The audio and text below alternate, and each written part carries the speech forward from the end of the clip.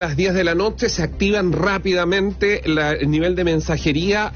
La primera cantidad de mensajes fue a nivel interno de carabineros. Hay audios desgarradores de funcionarios, funcionarias llorando por eh, teléfono, por mensajes, hablándole a sus familias de este nuevo remesón que había en la institución. Hay que decir, mensajes muy duros también en contra del actual general director de carabineros, quien pierde muchísimo respaldo interno, ojo con eso, sobre la posición que ha tenido Ricardo Yáñez con el gobierno de Gabriel Boric. Hay que poner mucha atención al desarrollo del general Ricardo Yáñez y lo que está pasando al interior de la tropa con su liderazgo.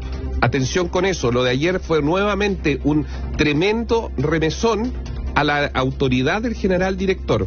Pero ¿dónde está la molestia con el general Yáñez? Y que, a ver, yo, acá los audios de carabineros llorando, emocionados, a ver, le mataron a un camarada de la Araucanía, de acá de Santiago, perdón, voy a decirlo, funcionarios que trabajan día a día en las escoltas presidenciales de hoy expresidente, general Yáñez todos muy molestos porque resulta que la vocera de gobierno el domingo en un diario dice gatillo fácil, se utiliza un hat y el general Yáñez no fue capaz. Y esto es lo que le recriminan, ¿ah? Estoy simplemente transparentando la recriminación que hay de los funcionarios de la calle, los que están todos los días parados en las esquinas del país respecto a que el general Yáñez no fue capaz de levantar la voz para defender defender a los funcionarios que no son criminales, porque con el tema de gatillo fácil, eh, los carabineros de la calle sienten que no tienen respaldo. ¿Por qué?